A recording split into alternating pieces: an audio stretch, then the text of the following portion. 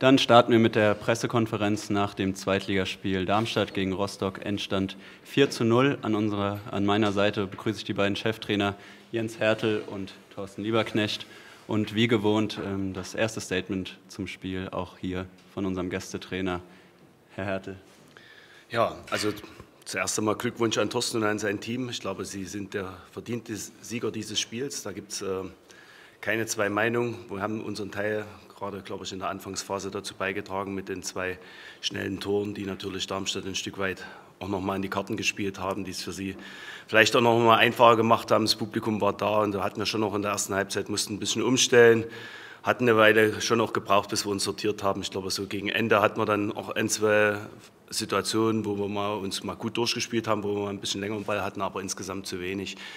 Ich glaube, zweite Halbzeit sind wir gut rausgekommen, waren wir gut im Spiel bis dann eben äh, ja, das, das 3-0 nach dem Standard äh, ein bisschen ärgerlich, äh, immer ein bisschen einfach und haben dann direkt eigentlich die Chance, Kevin Schumacher, den er dann halt an Pfosten legt, wenn wir da nochmal irgendwo auf 1-3 rangekommen wären, wäre es vielleicht nochmal ein bisschen ein anderes Spiel gewesen. So gab es ja noch diesen Elfmeter nach Wahreingriff, jedenfalls stand es dann am Ende 4-0. Ich glaube, wir haben es dann hinten raus seriös runtergespielt, dass wir eben nicht noch hier mehr Tore kassieren aus meiner Sicht verdiente Niederlage, aber ich würde schon sagen, äh, ein, zwei Tore auf jeden Fall zu hoch aus meiner Sicht. Und äh, trotzdem muss ich eben auch sagen, dass äh, Darmstadt, wir haben ja jetzt schon ein paar Spiele gemacht, das war heute das vierte, eigentlich auch so bis jetzt die beste Mannschaft war. Sie haben es, so wie wir es in der Vorbereitung auch gesagt haben, sehr unangenehm, sehr spielstark und trotzdem eben doch, können sie eben auch mal ganz einfach mit dem langen Ball alles überspielen und setzen sich dann doch fest im letzten Drittel. Und deswegen, wie gesagt, verdienter Sieger dieses, dieses Spieltages heute. Aus, ja, und wir müssen uns jetzt kurz schütteln und das werden wir auch tun. Und äh, ich glaube, dass wir nächste Woche gegen St. Pauli äh, wieder ein besseres Gesicht zeigen. Vielen Dank, Herr Hertel. Thorsten, wie hast du die 90 Minuten gesehen? Ja, erstmal danke, Jens, für die Glückwünsche an meine Mannschaft. Ähm, ich war tatsächlich nicht ganz zufrieden in der Halbzeit, ähm, auch wenn wir 2 zu 0 in, ähm, ja, vorne lagen. Mir war, äh, waren viele Dinge, ähm, die mir nicht gefallen haben, gerade in der individuellen äh, Passqualität, in der Passtechnik. Äh, da haben wir uns viele Sachen, die wir eigentlich äh, vorgenommen haben, wie wir besser vor die Kette spielen von, von Rostock, haben wir uns mit, mit schlammigen Pässen eigentlich zunichte gemacht. Das hat mir nicht gefallen. Und ähm, so wie Hansa Rostock sich jetzt in der Saison präsentiert, besteht halt immer latent die Gefahr, dass du ähm, ein Tor bekommst, weil ich sie eben ähm, ähnlich sehe, als Mannschaft, die nicht nur physisch unangenehm ist, sondern auch ein Spielstil hat, der ähm, der wirklich sehr unangenehm sein kann, auf dem Platz äh, neben der Physis äh, einen Bröger zu haben, der, ähm, ja, der, der auch viele ähm, Dinge aufreißen kann. Und ähm, deswegen war es da am wichtigsten, und das haben wir über 90 Minuten hinweg, bis auf ein, zwei Ausnahmen gemacht, haben wir eine sehr, sehr gute Defensivleistung ähm, gezeigt. Wir waren bereit, viel zu, ähm, viel zu investieren im Spiel gegen den Ball ähm, und haben ja, die Tore gebraucht, um das Spiel letztendlich zu gewinnen, weil wie gesagt, eine latente Gefahr war immer da. Ähm, und ich war auch nach dem 3-0, ähm, Jens hat es gerade gesagt, es gab dann diese Chance, war ich nie ganz ruhig. Ähm, erst mit dem 4-0, da war ich dann ja, mir sicher, dass wir das Spiel äh, wirklich nach Hause bringen. Und die Mannschaft hat ein paar Dinge wirklich äh, sehr gut umgesetzt, aber auch einige Dinge, wo ich sage, da müssen wir uns einfach ja, müssen wir uns gerade, was, die, was, das, was das Passen angeht, äh, da müssen wir einfach mehr Verantwortung in den Pass reinbekommen, auf vielen Positionen, wo wir da uns wirklich viele Dinge, die wir gut vorbereiten, dann kaputt machen. Ansonsten bin ich natürlich happy, dass wir ähm, ja, das Spiel gewonnen haben, weil, wie gesagt, wir hatten großen Respekt vor Hansa Rostock, ähm, weil es eben eine Mannschaft ist, die sich äh, mit Sicherheit mehr als behaupten wird. Ähm, wir haben auch einen, Tür, einen Türöffner gebraucht, das war eben der Fehler zum, zum 1-0. Wobei ich da sagen musste, ist dann eben halt auch ähm, wenn wir im Profifußball sind, da kann man schon mitleiden. Und äh, vor allen Dingen weiß man aber auch, dass äh, Marius Kolge natürlich ein überragender Torhüter ist, der nicht schon viele Spiele ähm, und viele Punkte für Hansa Rostock gehalten wird, sondern auch äh, das Ding hier abschütteln wird. Und deswegen für euch, Jens, mit deiner Truppe alles Gute für die kommenden Spiele. Vielen Dank, Thorsten. Kommen wir nun zu euren Fragen, wenn es denn welche geben sollte. Kurzes Handzeichen und dann aufs Mikro warten, bitte. Erik Hartmann vom Darmstädter Echo. Ja, ich wollte zu Beginn mal auf den zweifachen Torschützen eingehen, Philipp Tietz. Äh, letzte Woche haben Sie ja gesagt, oder letzte Woche war es ja sagen wir mal, ein unglücklicher Auftritt in seiner Heimat in Braunschweig.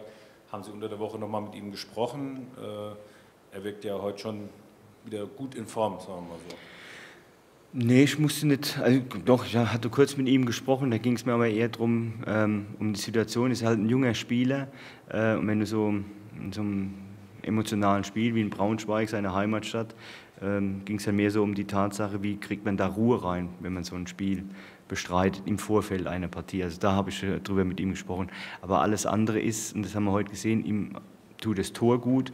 Er hat sich dann, und ich glaube, das war dann halt auch äh, das, das Spiel, was er auch gerne liebt, eben physische Präsenz gegen Fröde, Rosbach, äh, Malone zu zeigen zeigen zu dürfen. Und da hat er heute dann wirklich viele, viele Bälle sehr gut festgemacht und hat sich in diese Partie reingearbeitet.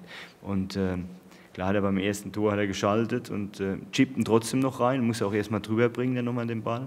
Ähm, und dann, ja, Eckstoß. Äh, wir haben letzte Saison haben wir leidvoll erfahren müssen, gegen Rostock zweimal haben wir auch einen Eckball kassiert, weil sie, da haben wir auch Respekt davor gehabt, weil sie eben sehr, sehr kopfballstark sind. Deswegen freut es mich heute auch, dass wir ein Standardtor geschossen haben. Und äh, wichtig ist bei ihm, dass er dran geblieben ist, aber ansonsten habe ich ihn in Ruhe gelassen, weil man kann ja auch mal einen Elfmeter verschießen. Ich würde noch mal eine allgemeine Frage stellen zu dem Sieg. Also 4 zu 0 war ja eigentlich nie gefährdet. Ähm, Sie haben jetzt vor dem Spiel gesagt, Sie kommen langsam ins Rollen. Darf so ein Sieg dann auch mal als Statement an die, an die Liga verstanden werden? Ach, total, totaler Quatsch. Also die nicht, nicht falsch verstehen, aber das ist wirklich totaler Quatsch. Das ist, wir sind froh, dass wir, dass wir jetzt echt neun Punkte haben, weil du alle Punkte, die du jetzt holst, helfen dir eben, dass du mal ja, bei dem Ganzen, was da unten eben halt auch rum, rumschwirrt, dass du da weg bist, dass du deine Punkte sammelst. Das ist jetzt das Wichtigste. Ansonsten ist es auch heute, ich habe schon eher das Gefühl gehabt, dass jetzt im Gegensatz äh, zu Ihnen, äh, dass er schon auch immer mal gefährdet war, dass man eben äh, schnell so, so, ein Spiel schnell kippen kann.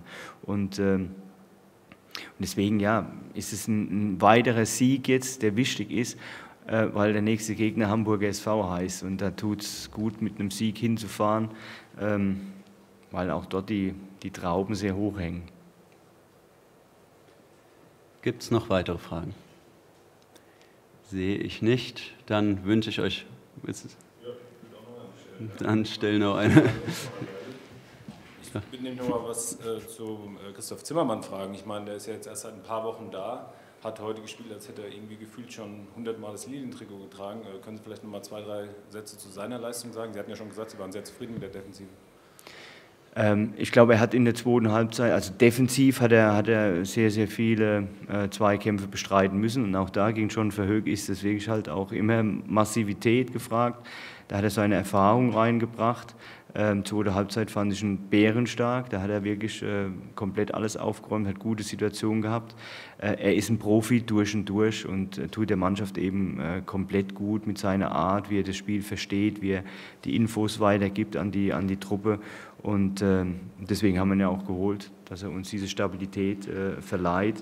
Und ähm, und das hat er heute, hat er heute eindrucksvoll dann gezeigt. Insbesondere fand ich in der zweiten Halbzeit, da war er, da war er dann schon, schon massiv, auch nach der Umstellung, ja, gerade da über die Seite mit Schumacher nochmal die tiefen äh, Positionsläufe, äh, die hat er dann eben halt auch mit Erfahrung dann ablaufen können und so. Da war er richtig stark. Aber wie gesagt, das Hauptding ist, er ist Profi durch und durch. Also ja, wie er, wie er eine Woche vorbereitet, wie er so ein Spiel vor und dann auch wieder nachbereitet, das ist äh, à la Bonheur, das ist eigentlich Sensation. Alle Fragen gestellt, Erik? Super. Dann wünsche ich euch allen ein schönes Restwochenende und unseren Gästen natürlich eine gute Heimreise nach Rostock. Danke.